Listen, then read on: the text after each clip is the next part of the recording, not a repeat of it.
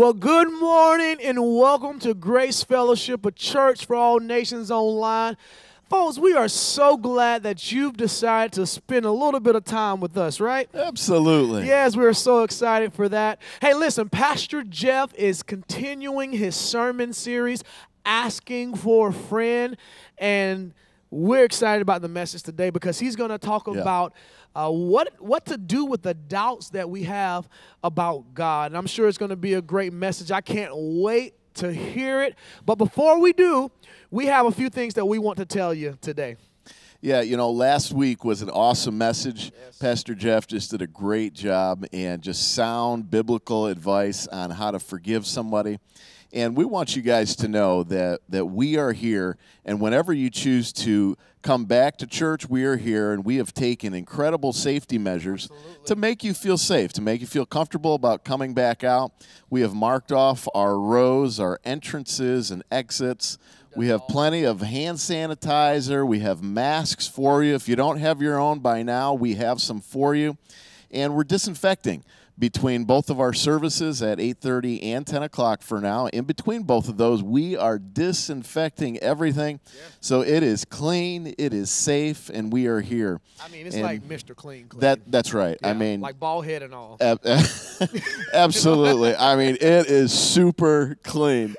And we just want you to feel safe to be able to come back. There's no pressure to return, but when you do, we just want you to know that we will be here and it will be clean and disinfected for you. And of course, we always have our continued online experience at 8:30, 10, and 11:30. So until uh, you return, we will be here, or you can check us out still online at 8:30, 10, and 11:30. Hey, absolutely. So, of course, like you just said, we have our services every Sunday, and also we're doing things such as uh, Worship Wednesdays every single Wednesday at 10 a.m. We put out what we call Worship Wednesdays. It's just a worship moment for us to take some time and worship, Worship God. God, yeah. And uh, we hope that the moments are meaningful for you. We're going to continue to do that. We have such a great team, and they're doing such a great job. Also, please don't miss Deep Dive at 5 Mm-hmm. every single Wednesday at 5 p.m. with Pastor Jeff and, and Pastor Tony and some of our other pastors. I mean, they're just doing such an incredible job. And I don't know if you heard that sermon last week, but how to forgive others is great stuff. And they spoke a little bit more on that this past deep dive. Listen, if you haven't had opportunity to uh, look at it, I just I highly recommend that you go check it out. They are doing such an incredible job, and it helps just bring great understanding to the topic that was just preached. Well, Pastor Lowe, you guys do an awesome job as well. just great, great music, great worship, and uh, just enjoy worshiping together with you. Amen. That's a blessing. Yeah. So, lastly, we want to talk to you about Starting Point. Starting Point is really the on ramp for everything Grace. If you want to learn more about Grace Fellowship, you need to get into virtual Starting Point. And that begins on Sunday, September 6th. All you need to do is go online at gogracefellowship.org forward slash starting point. You don't want to forget that forward slash, forward slash starting point. Get registered. And then after you do, we will contact you and show you all that you need to do to get involved with Starting Point. And you know, we would love to know where you are watching from. People are watching from all over the world, and it just encourages us to know where you're watching from. Put it in the comments below. Let us see you. Let us see you because we're looking for you. We're praying for you. Let us know where you're watching from. Well, Pastor Lowe, I believe that this ends our pre-service time, and uh, service is getting ready to start. And uh, you know what? It starts now.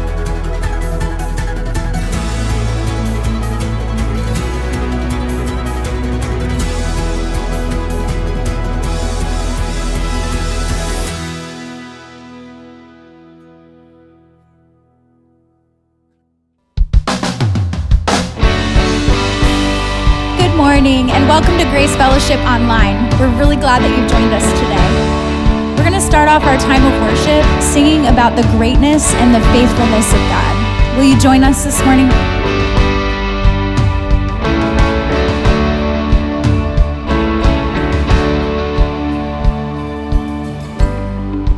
Walking around these walls, I thought by now they'd fall. you have never failed me yet.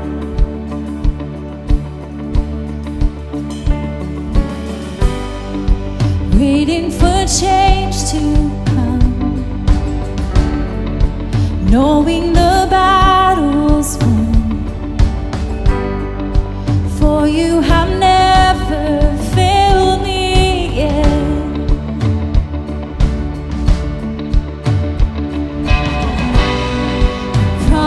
still stand.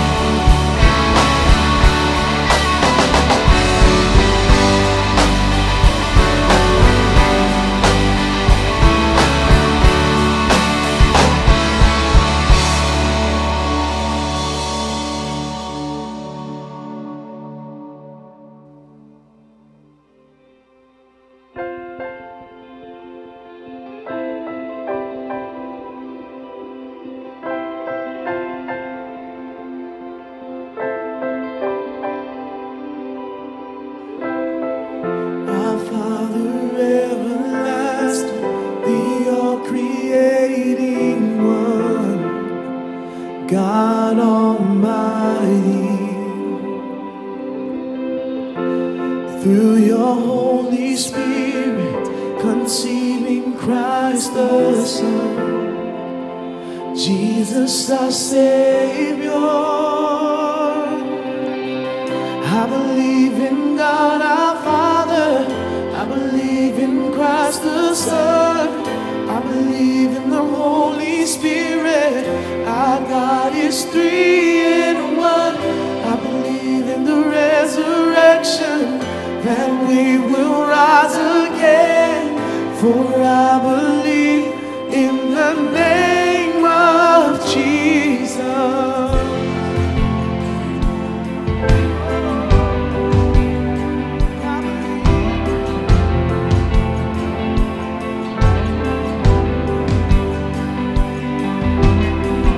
I judge and I defend, suffered and crucified.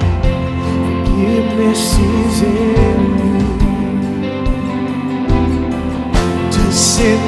into darkness, you rose in glorious light. Forever seated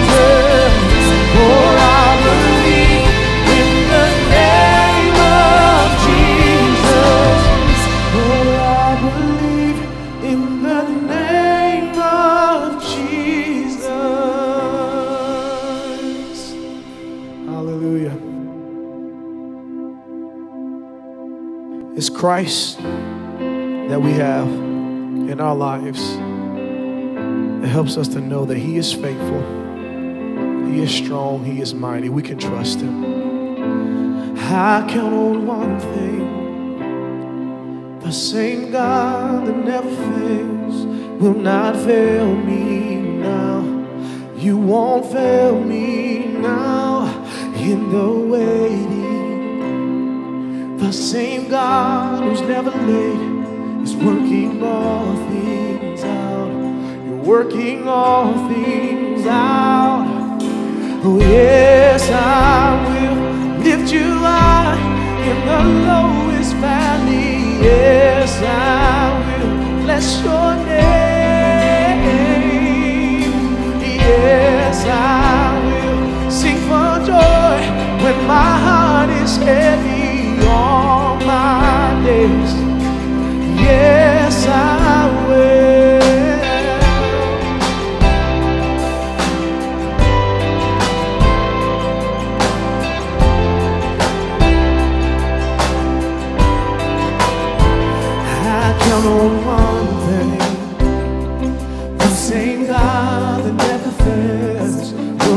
fail me now.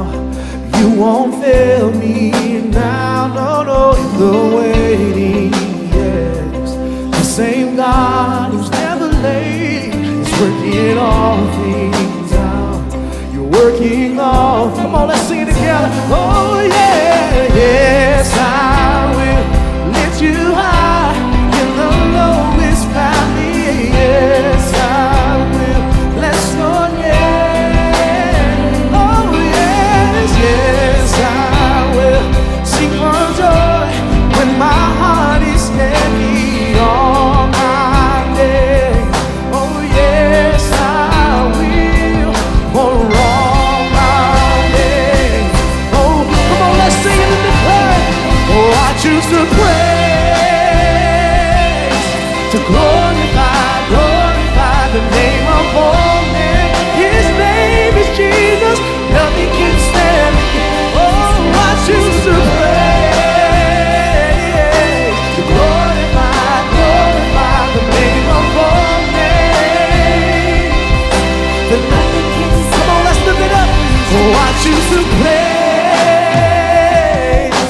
praise,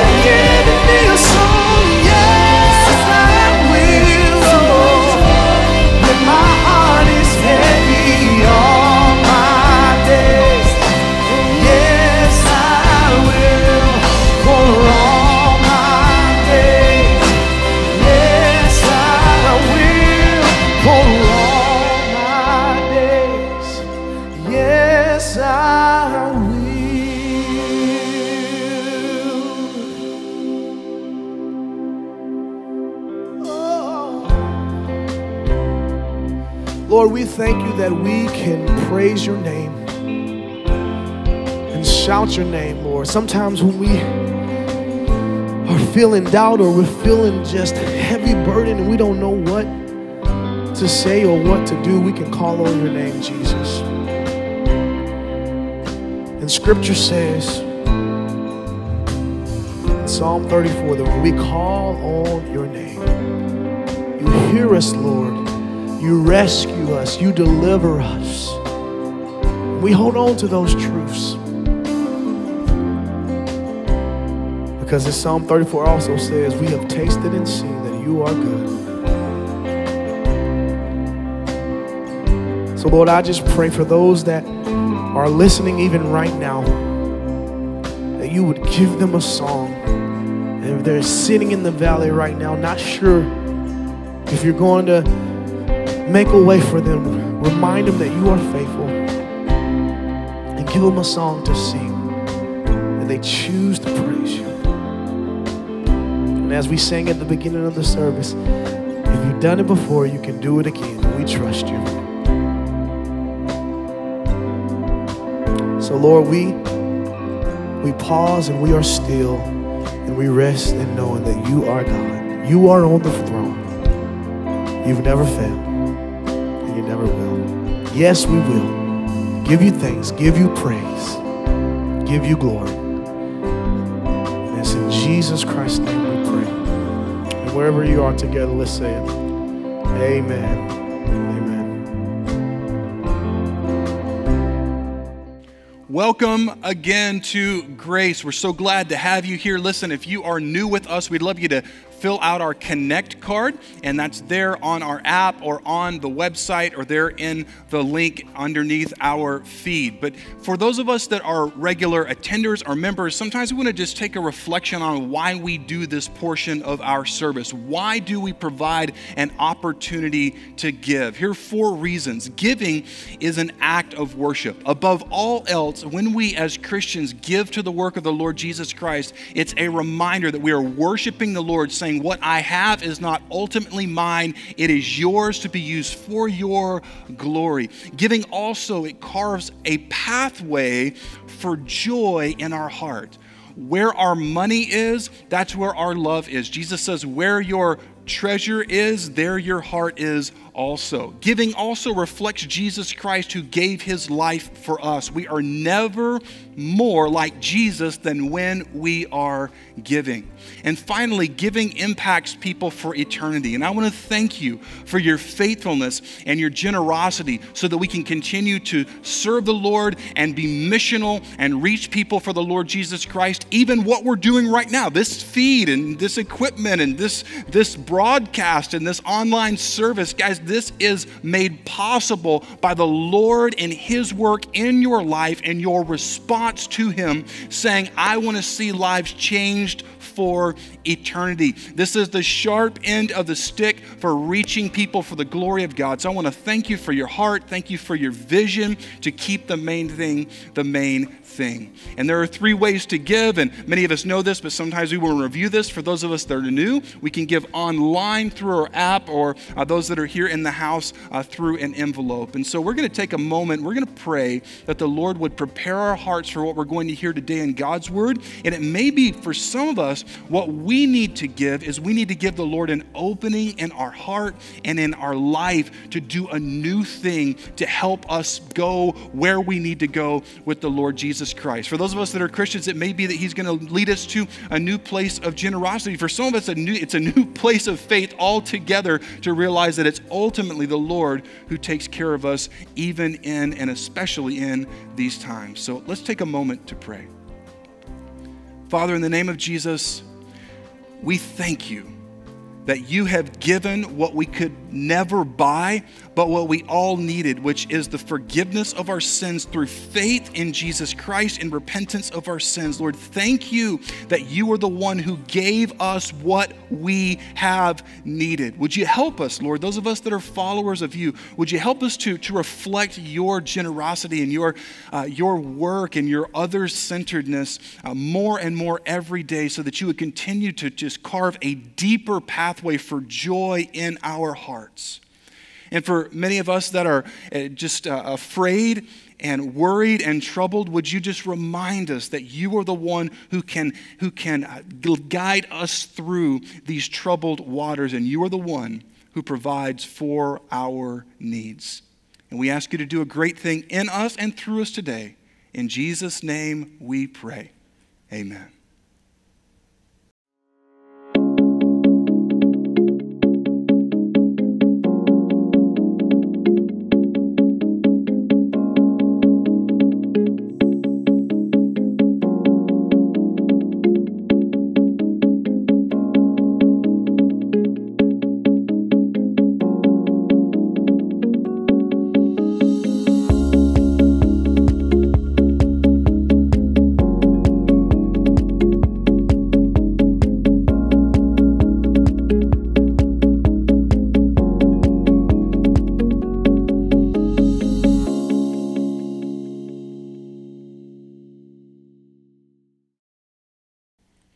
Welcome again to Grace Fellowship, a church for all nations online and here on campus as we continue in our new series, Asking for a Friend. Week one, we looked at the question, How do I forgive myself? Week two, last week, we looked at the question of, How do I move on? How do I deal with my enemies? And today we come to the topic of doubt. I'm having doubts about the existence of God. What do I do help exclamation point. So, those of you that are tuning in with us, I want you to know that here at Grace we welcome questions because we believe that when we begin to question things and engage with things, some of us for the very first time or some of us for the first time in many, many years that God is at work in us. So, we're going to look at how God's word leads us through uh, the questions of doubt. Now, before we go further, I want to share something with you that one of our ministry networks, uh, the Florida Baptist Convention, they, they're trying to help churches be what's called evangelistic. Evangelistic is helping people come to know who Jesus Christ is, helping people who are far from God come to know God. And last year, we just saw the Lord do a powerful work in our church and they said, We want to share what God is doing in Grace Fellowship, a church for all nations. And so they published this article uh, Grace Fellowship weaves baptism in church life to create evangelistic uh, culture. And we want to give the Lord all the praise and the glory for what He is doing here. This was initially part of a larger study from churches that the Lord is using to reach many people for Christ. But uh, based upon what God has chosen to do among us, they wanted to do a story just on Grace Fellowship. So if you are a regular attender or a member, we share this to be an encouragement to you, and we want to give Jesus Christ all the praise and the glory. But guess what? We still have much work to do. Even in 2020, we've seen people come to Christ. There are people contacting us almost on a, a weekly basis saying, Hey, I, I have questions. I need help. I need encouragement. Can someone please talk to me? So be encouraged. Those of you that call this place your faith home, your church family, that God is at work. And here's the really cool part not only is God at work in us, among us, through us, but He's also giving us an opportunity to share with other churches what the Lord has led us to do in terms of biblical strategy, not anything that tries to emotionally manipulate someone or, or anything along those lines, but to be biblically faithful and to love people no matter who they are, no matter what their background is, no matter what their current views are relating to God and the scriptures, but that Christ has called us to be his ambassadors in the world. And we want to share with other churches what God is teaching us and what we're learning as a faith family. So be encouraged that God is not only at work in this place, but he's giving us an opportunity to be an encouragement for other churches because ultimately it's not just about Grace Fellowship, a church for all nations. It's about the kingdom of God. Now, speaking of outreach, I want to share with something, uh, share, share something with you that will be a, another encouragement, especially if you uh, have young children. Grace Kids starts the first Sunday in September, September 6th, not in August, but in September, two weeks from today, we're going to start again our children's ministry during our 8:30 and our 10 a.m. on campus services. So I want to encourage you to spread the word. This may be an opportunity for you to invite some of your friends that have been watching Grace online over these past few weeks and months, and they feel that it's time for them to come and try out an on campus service. We have a great opportunity for their children to be taught the Word of God on their level so the whole family can be encouraged. So today, we're addressing the question I'm having doubts about the existence of God. Here's our main idea. What we want to do is identify the source or sources of our doubts and pursue our questions into the ground. There's a short little book right before the last book in the Bible, the book of Jude. It has one simple chapter, so it's literally verse 22 of chapter 1, and it contains these words And have mercy on those who doubt. A couple of years ago, George Barna, the pollster, did a study, and they concluded that two thirds of Christians in America, self professing, self identifying Christians face doubt. We have a, a snapshot here of the response to doubt. When you experience spiritual doubt, did you stop doing any of the following? Now, notice this 45% of professing Christians in the U.S., when they begin to feel a profound sense and feeling of doubt, 45% um, stop attending worship or church services. 29% stop reading the Bible, 29% stop praying, 25% when doubt comes, uh, they stop talking with their friends or their family members about faith, and 39% none of the above. And there's the consequences of doubt. Based upon if we claim to be a follower of Jesus Christ, it's how we handle doubt and how we pursue those questions that really matters in the long term. So the consequences of doubt, Barna discovers these things. Would you say that your time of spiritual doubt has made your faith stronger, 53%, weaker, 7%, didn't change it, 28%, and 12% literally lost their faith in God? Now, before we go further, I want to distinguish between doubt and something called unbelief, or if you want to take the word a little bit further, disbelief. And here's what Elmer Towns writes all the way back in 1965. He writes these words Doubt is not unbelief, unbelief is rebellion against evidence that we cannot or will not accept. Doubt is stumbling over a stone that we do not understand. Unbelief is kicking at a stone that we understand all too well. So, helping us understand that not all doubt is unbelief. Doubt is being in the dark. Sometimes it's in the intellectual dark where we hear someone lodge a, an objection against biblical Christianity and we're not sure how to respond. In other cases, there's emotional doubt.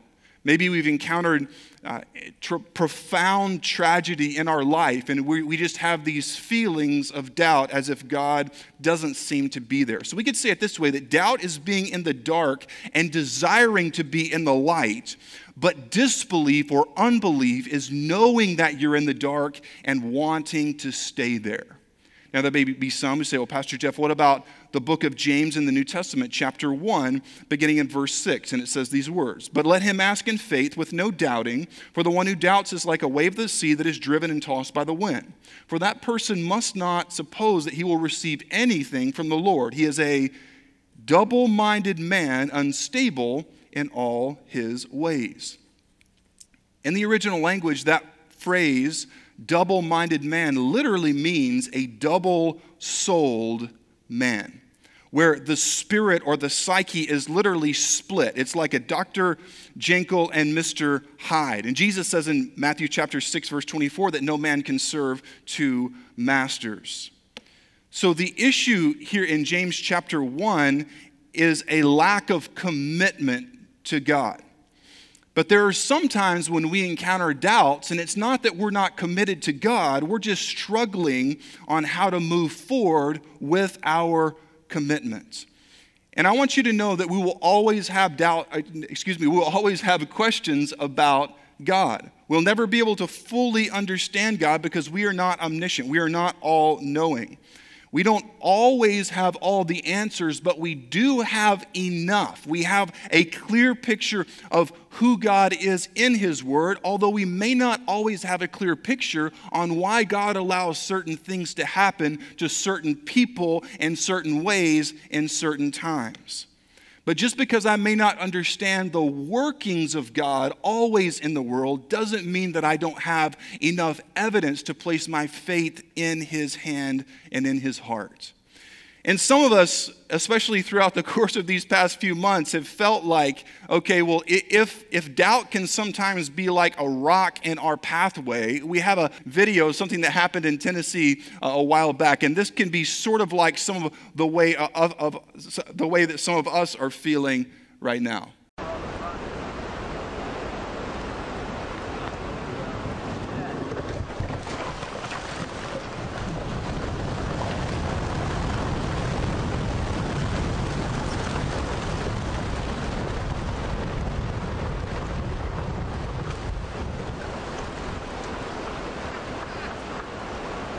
Some of us feel like if doubt is a rock in my pathway, I feel like over the past several months, it's been not just one rock, but an entire mountainside gave way, and it's literally a rock slide in my life. And you don't really prepare for a landslide or a rock slide.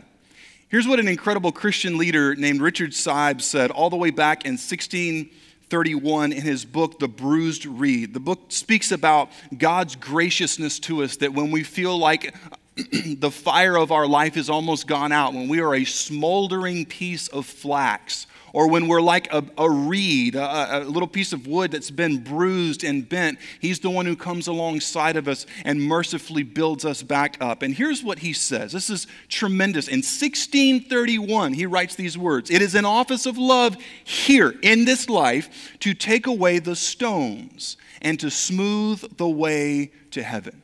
So, this morning, what we're going to do as God gives us strength is to remove some stones that may be in some of our pathway as we're seeking to either find out who God is or we're already committed to Him. We're not the double souled man in James chapter 1. We're just trying to find out the best way that we can continue and work through our commitment to Jesus Christ and stay faithful in this day and time. So let's take a look at troubleshooting our doubts. Number one, we want to identify the sources of our doubts.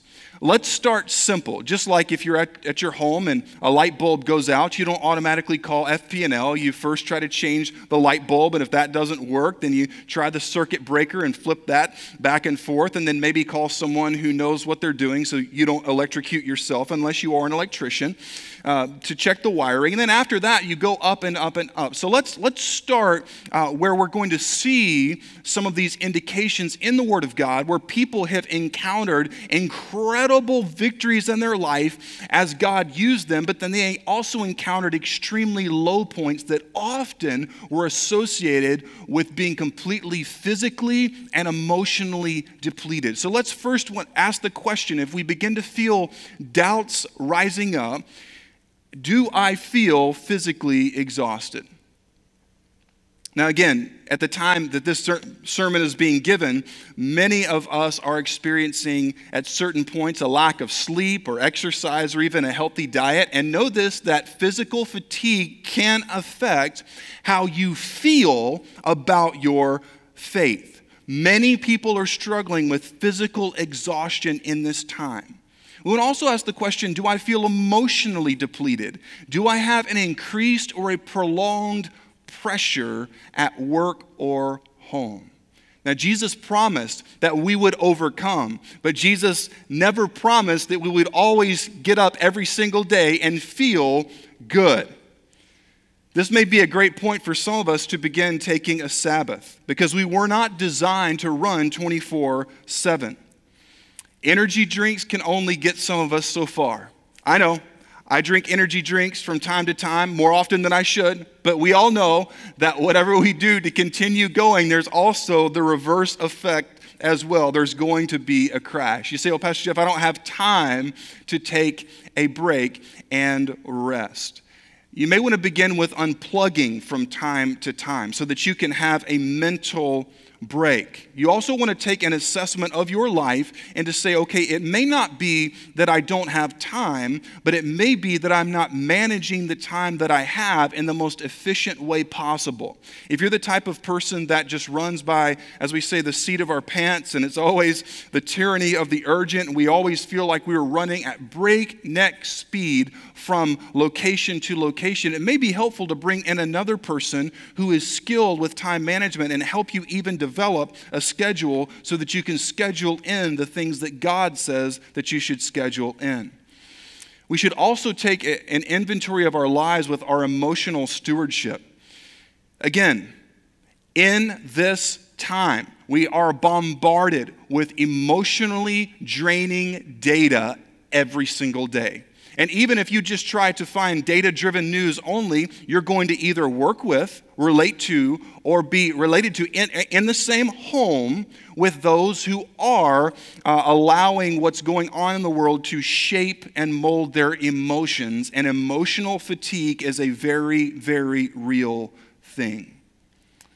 I believe that the Lord wants us to be aware to be self controlled, but also self aware. This is where the Bible talks about biblical discernment, seeing what's really there. And I want to showcase the Old Testament prophet Elijah as we talk about emotional and physical exhaustion. In 1 Kings chapters 18 and 19, here was the lone prophet Elijah. And Elijah, this is like the original High Noon, if you've guys seen the old Western movie, where he faced down 400 prophets of Baal that were absolutely filled with demons. If you want to do a study of Baal, B A A L, a horrifying demonic deity that had basically infiltrated the hearts of the people of Israel. And here he was on Mount Carmel, the only one he had on getting his back and backing him up was God himself. Tremendous courage. 1 Kings chapter 18, verse 27, it says, And at noon, these are the, uh, the, the 400 prophets of Baal who are trying to get their false God to answer by fire. And this is how much courage he had. Even the prophet, he mocked them, saying, Cry aloud, for he is a God. Either he is musing or he is, this is in the Bible, or he is relieving himself, or he is on a journey. It's in the Bible.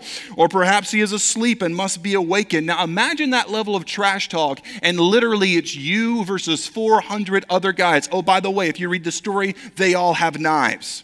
And in verse 38 of chapter 18, it says, And when all the people saw it, what did they see? They saw Baal not answer, but the God of the scriptures answered by fire to show that he was the one and only God. When the people saw that, they fell on their faces and said, The Lord, he is God. The Lord, he is God. I mean, you talk about power, you talk about faith, you talk about huge strength. Well, just the next chapter. It says in Ahab, this was the corrupt king of Israel during that time, told Jezebel, his wife, one of the most infamous characters in all the Bible, all that Elijah had done and how he had killed all the prophets with the sword. This was capital uh, punishment. It was justice meted out against these 400 prophets of Baal that had made their living off of killing children. Then Jezebel sent a messenger to Elijah saying, So may the gods do to me and more also if I do not make your life as the life of one of them by this time tomorrow. All right, now time out. In verse 3, before we get there, he had just taken on 400 prophets of Baal. They all had knives, and here is his response. In verse 3, then he was afraid.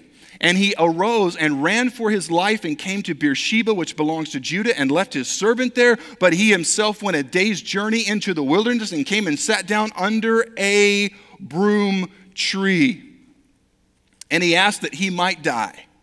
Wait, this is the same guy. This is the same guy who incredible victory came through, saying, It is enough now, O Lord, take away my life, for I am no better than my fathers. And he lay down and slept under a broom tree. I don't know if he said, Lord, I can't sweep my feelings under the rug any longer. And behold, an angel touched him and said to him, Arise and eat. Now, do you see, just in a small period of time, he went from this victorious man of God over the forces of evil and injustice and hatred and wickedness and bloodshed to a man who was literally in fear for his life. Even more than that, a man who wanted God to simply take his life. Literally, he had gone from being on the top of the mountain, literally and metaphorically, to not even wanting to live. And he looked, and behold, there was at his head a cake baked on hot coals and a jar of water. And he ate and drank and lay down again. And the angel of the Lord came again a second time and touched him and said, Arise and eat, for the journey is too great for you. Do you see what God did by sending the angel? The angel did not give him a pep talk on how his theology needed to change. The angel said, rise and eat something, lay down and rest. There's a book on preaching that was written several years ago called Power in the Pulpit, in which the author makes this statement Sometimes the most spiritual thing you can do is take a nap. Brothers and sisters, if Elijah in God's Word can go from the greatest Super Bowl in that day and time for the glory of God to, in the next few verses, despairing of life itself, you can imagine the emotional and the physical toll that that victory on top of Mount Carmel did on him. So we need to do an assessment of our life. Is, is it that I need to take another course in theology, or is it that I need to first take a nap? Is it that I first need to do an assessment? Am I physically and am, am I emotionally exhausted? Because if we are, those feelings, not the intellectual doubts, but just the general feelings of doubt can begin to creep up in our soul. Another question that we want to ask is Do I feel abandoned by God? The story here in Matthew chapter 11, verses 2 through 6 is when John the Baptist had been thrown in prison by Herod for calling out Herod. And here's John the Baptist, an incredible, incredible man of God. I notice what he asks in prison. He says, Now, when John heard in prison about the deeds of the Christ, he sent word by his disciples and said to him, Are you the one who is to come, or shall we look for another? Okay, time out. This is the same John the Baptist that when he first saw Jesus, he said, Behold the Lamb of God who takes away the sin of the world. He knew who Jesus was. Even when John the Baptist was in the womb, God had, had, had called him, had chosen him for a special work. So he's there in prison, he's on death row, and, and he sends his disciples just to say, Ask Jesus again. Just let's, uh, let's make sure that he's the real deal. And Jesus answered them Go and tell John what you hear and see. The blind receive their sight, and the lame walk. Lepers are cleansed, and the deaf hear, and the dead are raised up, and the poor have good news preached to them. And blessed is the one who is not offended by me. Jesus is tapping back into the prophecies of Isaiah in chapter 29 and chapter 25 and chapter 61. John the Baptist, being a practicing first century Palestinian Jew, would have immediately connected what Jesus was saying. What Jesus is saying is the prophecies talk about all these things happening. They are happening through me. So let the evidence of what's going on encourage you when you are there all alone in prison on death row. You see the humanness of John the Baptist. Now, we're not saying that John the Baptist was disbelieving Jesus or he was guilty of the sin of unbelief, but he was just saying, you know, I, I, I want to double check I don't want to die for nothing if this is not the real thing. I don't want to take these shots on the chin if this is not for real. And the Bible says that John the Baptist was the greatest man born among women. So if he's there in prison and can have some, mm, I just want to make sure, then what makes you and I think that we can't sometimes experience the feelings of doubt. But notice how Jesus did not reprimand him, Jesus did not speak down to John. Jesus lovingly reminded him of what was actually true. And I believe that when we pursue our questions, we ask the Lord, He's able to respond to us in a way to, to help us have those anchors there. That even if the ship is in the middle of a hurricane in the middle of the North Atlantic, the anchor still holds. Another question when we're experiencing doubts about the Lord is Do I feel guilty because of an unconfessed sin or habit? Sin creates guilt. This is especially for, for a Christian who not only has their conscience, but they have the Holy Spirit indwelling them.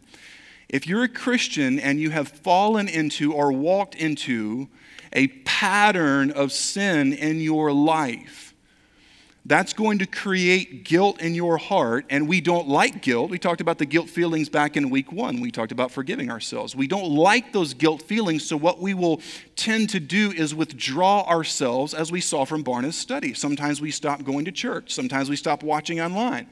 Other times we just don't want to talk about the things of the Lord anymore. We want to close our Bibles or take the Bible app off our phone or simply put it in a part of our phone that we don't normally access. We just don't want to be reminded of what tells us we need to repent and come back to the Lord Jesus Christ. And finally, we ask the question Am I actually facing a really tough objection to Christianity? And, brothers and sisters, I'll say this in my own life and also talking to godly leaders who have helped people for many, many years with their doubts, that the overwhelming percentage of doubts that most of us experience are not intellectual in nature, but they are emotional in nature. Someone's going through marriage problems. They have an overbearing mom or dad, or mom or dad are having marriage problems, and you hear them fighting and threatening divorce. You lose your job. You lose a family member in, a, in an untimely, shocking way. And all of those feelings that are natural for us to experience Sometimes those feelings can cause us to begin to sense a, a, a, a, separation from us and the Lord. And it's not that He's left, it's that we are hurting. But sometimes we don't know how to process that hurt. And then we'll actually say things like, Well, I've been thinking. And then we'll bring up an intellectual objection to God. But it's not that we've been thinking, is that we've been hurting. We've been feeling, we've been bleeding from the heart, but the only way we know how to articulate that is to do it in the form of, well, I'm not sure the Bible is the Word of God. I'm not sure that the scientific evidence points towards a creator. And we that's the way we articulate it. But I think the vast majority of what I've experienced talking to people in my life and talking again to godly leaders, smart people with degrees, eh, helping people over a course of decades with their doubts and their questions Christians, most all of them at, at one point or another are affected by or rooted in something that we're walking through that's painful. So, if we can identify the source of the doubt, then that will help us being able to remove that rock in our path as we pursue the Lord Jesus Christ. So, if the question or the objection is intellectual in nature, here's what you want to do you want to pursue it into the ground. Again, if it's the matter of, man, I'm absolutely exhausted, here's your solution. This here's where you want to start. Get some rest, start obeying the Lord, repent of workaholism. Some of us need to raise our hand, right? Uh, we, we just need to take time to make time to physically rest. And if all truth is God's truth, then you have nothing to fear from honestly pursuing your questions. There are some of us who have heard an objection to Christianity, and sometimes that creates a, a, profound sense of fear. We don't know what to do with that. Well, what if it's right? Listen, if God's if all truth is God's truth, then we have nothing to fear to pursue those questions. Jude 22, and have mercy on those who doubt. Maybe some of you felt like that video, like that rock slide, that like the whole side of the mountain has slid off over the course of this year. And it's not just one rock, it's boulders upon boulders that are blocking your path. But as you pursue your questions, and we even have some resources there in the notes if you want to download that from the website or there on the app, uh, uh, some ways and resources that you can begin to pursue your questions. And again, we have a great team here, and we are here to help you and guide you with the questions that you may have. Even more so, we do something called Deep Dive at 5 every week now on Wednesday evenings at 5 p.m. to retake what we talk about on Sunday and go a little deeper and apply it uh, a bit more extensive. We have this photo here that illustrates what God can begin to do in our lives.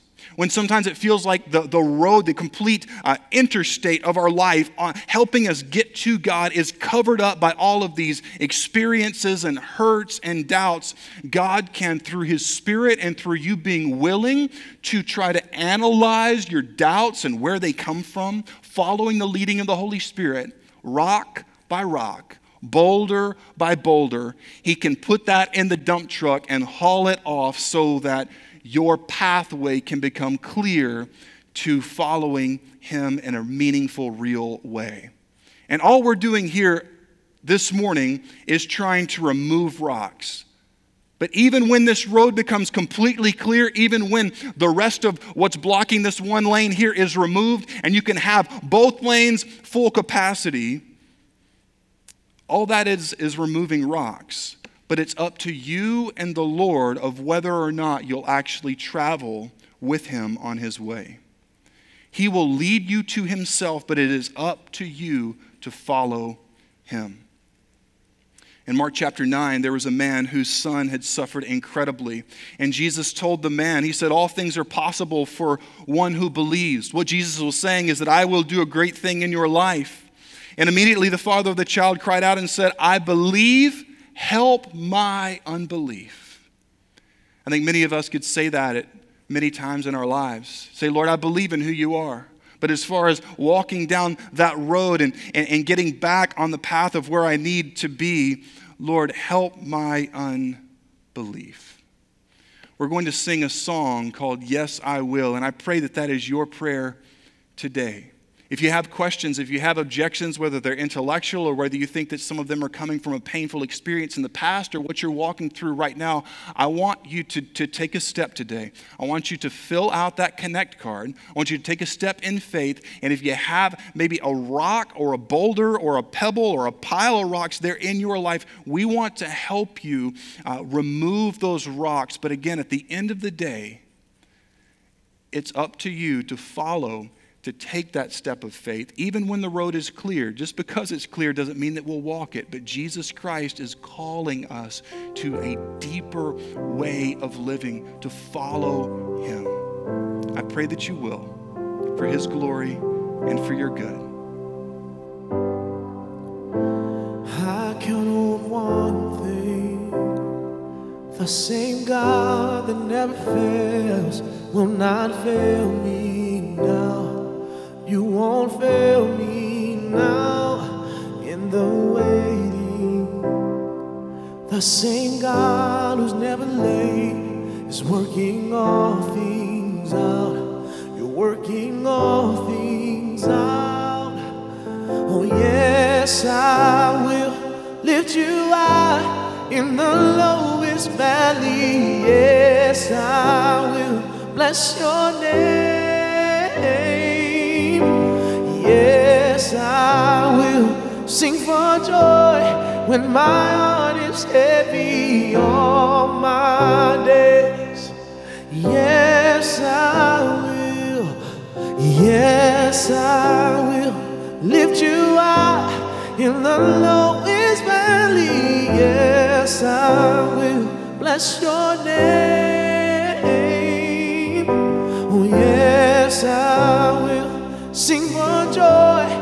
My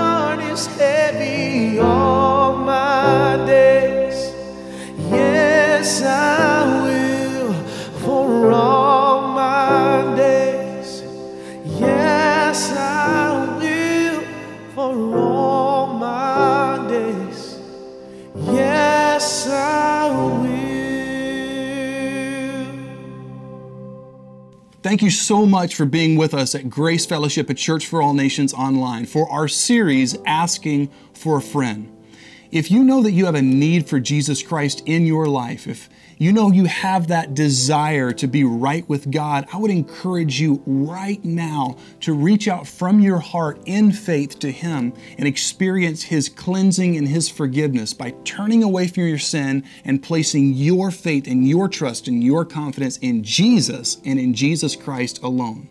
And if you're willing to make that step towards Him, would you let us know? We get so excited about life change and we are serious and committed to helping you on your faith journey. If you have a question about baptism or you want to learn more about Grace Fellowship and how to be plugged in here, let us know through the Connect card.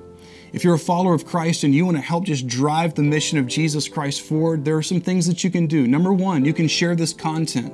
You can bring people with you on Sunday morning if you're comfortable being in our in person services. And then, third, you can give as the Lord leads you to give. Guys, I believe that God has great things in store for us. So let's continue to make much of Him by inviting our friends and our family who may have questions and who may say, asking for a friend.